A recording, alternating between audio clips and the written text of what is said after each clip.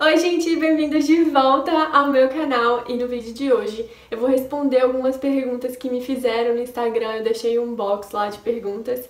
É, e vocês fizeram várias perguntinhas legais sobre missões. E eu vou responder aqui nesse vídeo, né, o que eu souber responder, o que eu já tiver tido alguma experiência. Se vocês quiserem saber quais foram as minhas respostas para essas perguntas, é só continuar assistindo o vídeo. Eu vou ler aqui, gente, as perguntas para eu não errar e não fazer a pergunta errada. Então vamos lá. A primeira pergunta foi: Missionário sente medo ou a coragem e ousa ousadia são características? Que pergunta maravilhosa! Gente, sim, coragem e ousadia são características, mas a gente tem que lembrar que missionário é filho de Deus, que entendeu o seu chamado, que entendeu a missão que Jesus deixou pra gente aqui na Terra e foi fazer isso e foi viver isso. Não significa que nós somos super-heróis. Sim, a gente tem um pouquinho a mais de coragem, a gente, né, luta mais por algumas coisas. Sim, mas não significa que a gente é super-herói. Então, sim, o inimigo vem com mentiras, vem com ataques sobre a gente. Eu, particularmente, já tive momentos que eu tive, é, não vou falar medo, mas um pouco de receio, sim, por exemplo, quando o minha, meu prático foi Grécia e Oriente Médio. Então, quando a gente foi pra Grécia, a gente estava tranquilo, de boa. Mas a gente sabia que em algumas semanas a gente ia ter que ir pro Oriente Médio. E muita gente botou um terrorzinho na cabeça da gente, sim. E a gente ficou com um pouco de receio. Ah, meu Deus, a gente vai chegar lá e como que vai ser e tal. E aí eu lembro que Deus, ele foi tão lindo, mas tão lindo. A forma que ele acalmou a gente foi é, a gente tava vendo no Instagram os stories da Lumelpídio e a Lumelpídio estava lá nesse lugar. Eu acho que ela fez culto nesse país. Eu não, eu não lembro o que, que ela tinha feito, se ela tinha feito uma apresentação numa igreja, alguma coisa assim. E ela tava passeando, né, por, é, por esse lugar que a gente ia. E a gente vendo ela viver aquilo, trouxe tanta alegria no nosso coração, trouxe tanta paz. E a gente perdeu o nosso medo e a gente tava louca pra ir pro mesmo lugar que ela tava, porque ela mostrou pra gente que não precisava ter medo, né? Então, assim, a gente queria muito ir, a gente tava com coragem para ir, mas como as pessoas jogaram palavras de que a gente ficou, né, trou trouxe um medo na nossa mente, é, então a gente ficou um pouco receoso, sim. Outro momento que você pode ter um pouco de medo também é de fazer alguma coisa errada, sei lá, de no sentido de, por exemplo, você tá liderando um time, você errar feio com o seu time, coisas assim, ou você ir pra nação perseguida e você ter algum tipo de receio, porque sim, realmente alguma coisa pode acontecer com você e seus pais estão aqui é, no Brasil preocupados com você. Existem vários motivos, mas a gente não pode viver no medo, tá? Porque quando a gente vive em medo, a gente não entendeu o perfeito amor de Deus, porque o perfeito amor de Deus lança fora todo medo. Próxima pergunta. Como surgiu o desejo de ir para Jocum e não para outra? Gente, a Jocum pra mim foi... Deus foi direcionando e colocando essa instituição no meu caminho, tá? Porque eu não cresci querendo ser missionária, na verdade eu nem sabia que era meu chamado direito, mas Deus foi colocando na minha frente que Ele queria que eu fosse para esse lugar em específico, né? E Ele queria que eu começasse o meu chamado num local específico, com pessoas específicas. Então, Ele queria que eu começasse, por exemplo, juntamente com a Jocum, e com o Dunamis, por um, momento, por um motivo específico. Então ele trouxe a escola de Kona pro Brasil, porque esse era o plano dele. Eu disse sim pro plano dele. Então foi mais ou menos assim, não foi que, ah, eu só vou Supra Jokun, não sei o que, foi direcionamento de Deus. Próxima pergunta, qual a nação que você foi e pensa em voltar porque ganhou o seu coração? As duas, não, não foi as duas últimas, porque a última que eu fui foi pra Kona. Tá, no Oriente Médio, a Turquia e o Nepal, na Ásia, ganharam muito, muito, muito, muito meu coração. Com certeza eu voltaria se Deus me direcionasse para isso, né? Mas por enquanto ele ainda não tem direcionado. Outro país que tem muito meu coração é os Estados Unidos. E não é porque os Estados Unidos é para você fazer compras e etc. Porque nem barato os Estados Unidos é mais pra gente, né? Não, não compensa muita coisa lá. Mas, cara, você tem que ir pro país que Deus está te direcionando. Se for pra Europa, vai pra Europa. Não interessa o julgamento das pessoas. Se for pros Estados Unidos, vai pros Estados Unidos. Se for pra Suíça, se for Entende? Se for pro fim do mundo, vá, mas vá para onde Deus está direcionando. E esses dois países ganharam meu coração. Próxima pergunta: como pregar o evangelho numa nação perseguida? Hum, essa pergunta é muito boa, porque eu já fui para duas nações perseguidas e é diferente, tá? É muito diferente de você pregar na Europa, é diferente de você pregar no Brasil, é diferente de você pregar numa nação aberta. Né? O que é uma nação perseguida? É uma nação que persegue os cristãos, né? É onde você não pode cultuar Jesus em liberdade, né? Você não tem uma liberdade de expressão para falar de Jesus, para cultuar Jesus, né? Seja na rua, seja fazer evangelismo, coisas assim. E sim, nós precisamos ter estratégias diferentes. E a gente precisa estudar as outras religiões, estudar a cultura local, né? E levar o amor de Jesus, gente, não é pra gente levar uma religião e fazer as pessoas mudarem de religião. É para nós sermos pessoas transformadas, com a vida curada, com a alma curada.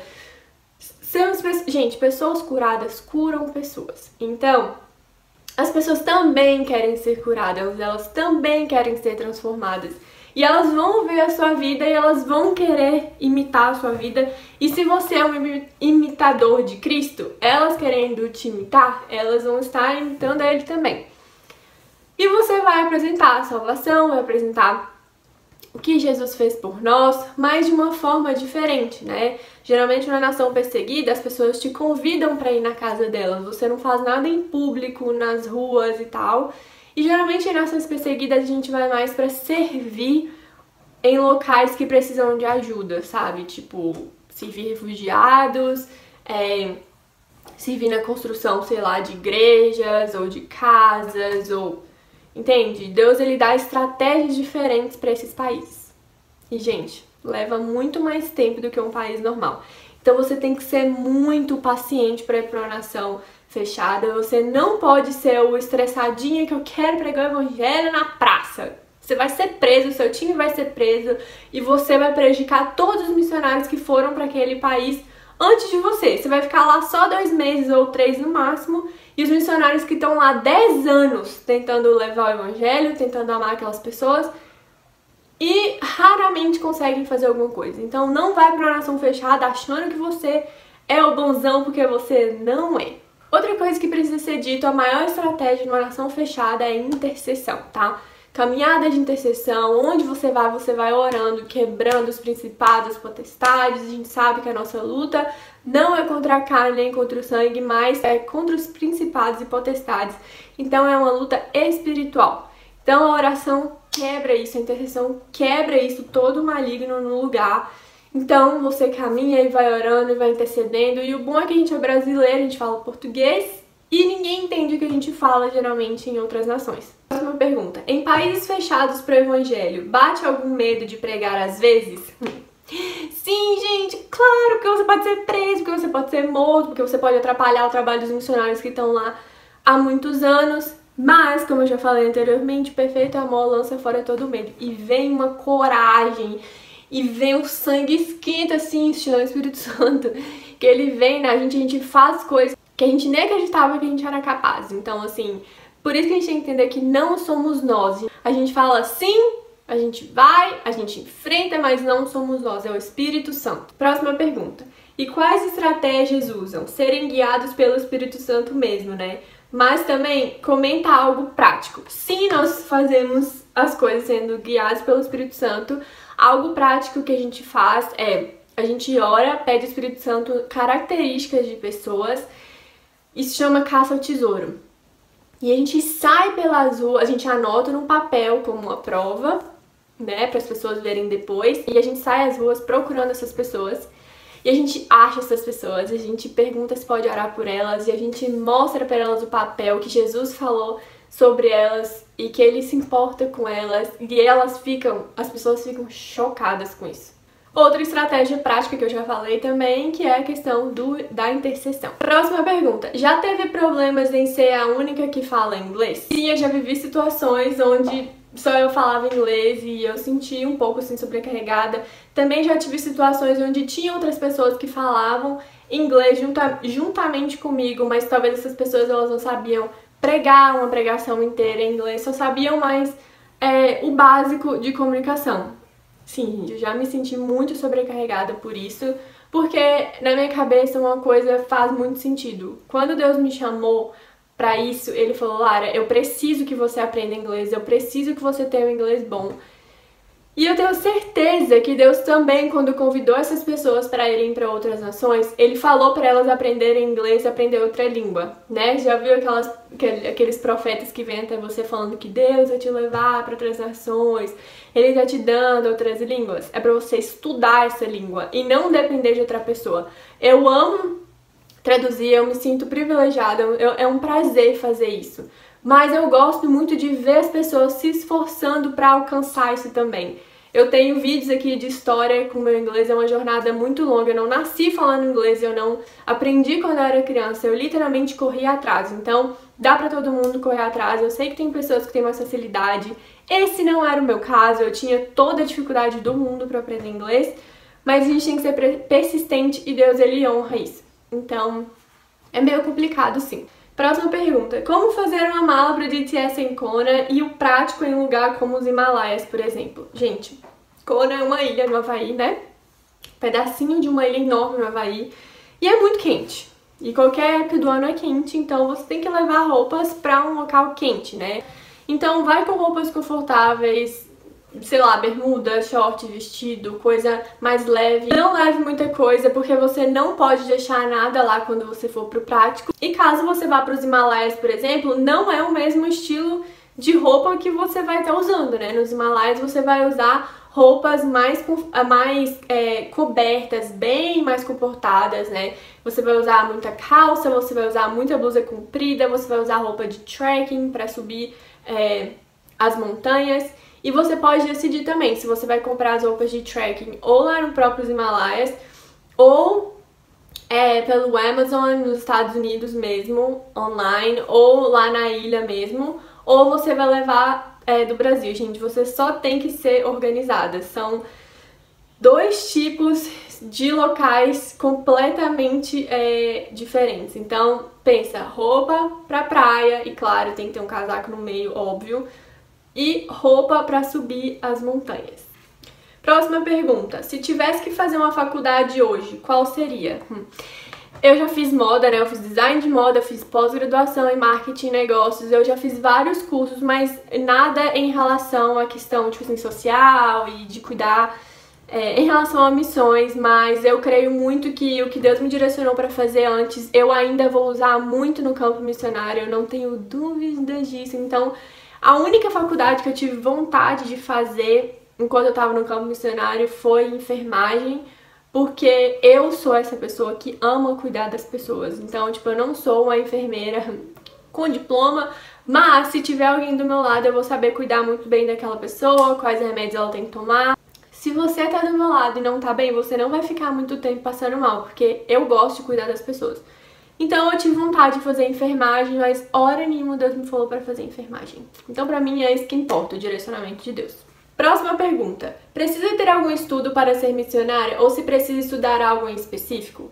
Gente, a minha maior dica para vocês é faça uma ETED, né, que é a Escola de Treinamento Discipulado da Jocum, que ali você vai ter a melhor introdução possível para uma vida em missões. Eu não digo que você tem que fazer uma faculdade específica, mas eu, Lara, né, não gostaria de ter ido já para o campo missionário sem uma faculdade, mas isso é algo particular meu, tá? Eu me sinto melhor assim.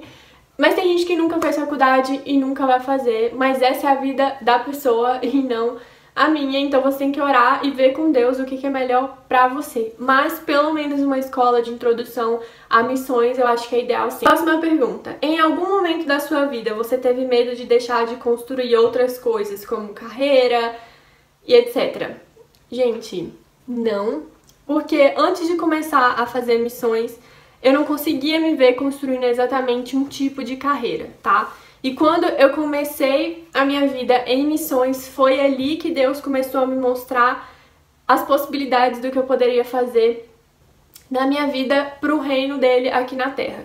Então, sim, depois que eu já tive é, em missões, já vieram várias possibilidades na minha mente de carreiras ou de coisas que eu poderia estar fazendo, mas eu tenho uma paz que excede todo o entendimento que vem de Deus de que realmente é isso que é para eu fazer. E o inimigo, sim, muitas vezes ele lança umas mentiras na nossa mente e a gente sente um pouco de medo de estar perdendo algumas coisas, mas eu sei que essa não é a verdade e qualquer outro momento que Deus me pedir para transicionar para alguma carreira específica, eu tô aqui e eu vou porque esse vai ser o caminho dele para mim. Próxima pergunta: seus pais te apoiaram quando você contou que tinha esse chamado?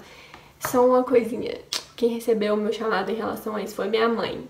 Então eu não tive que discutir assim com ela sobre isso. Tudo foi apontando para isso e deu certo, eles me apoiam. Próxima pergunta. Você pretende um dia morar em outro país fazendo missões? Sim, gente, com certeza. Eu tenho até palavras em relação a isso, né? Palavras de Deus. E mas eu creio que isso vai acontecer no momento certo, então eu não fico loucamente planejando essas coisas. Eu, tenho, eu tento me preparar cuidando de mim mesma, né? Cuidando da minha saúde mental, do meu físico, é, estudando mais e agarrando todas as oportunidades que Deus coloca nas minhas mãos, assumindo responsabilidades, aprendendo como liderar da forma correta.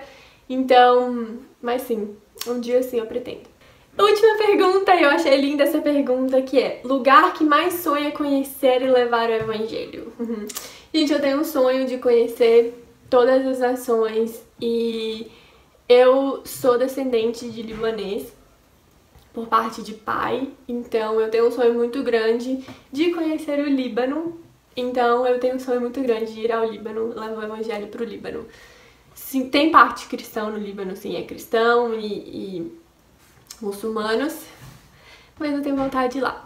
Então é isso, gente. Eu espero que vocês tenham gostado do vídeo. Espero que as respostas tenham ajudado é, de alguma forma. Eu não vejo a hora de voltar né, para missões, tanto para o campo quanto para a base pra base que Deus me levar. E, e é isso aí, eu vou tentar gravar tudo aqui pra vocês e qualquer dúvida que vocês tiverem, pode deixar aqui nos comentários que eu vou tentar responder. E até o próximo vídeo.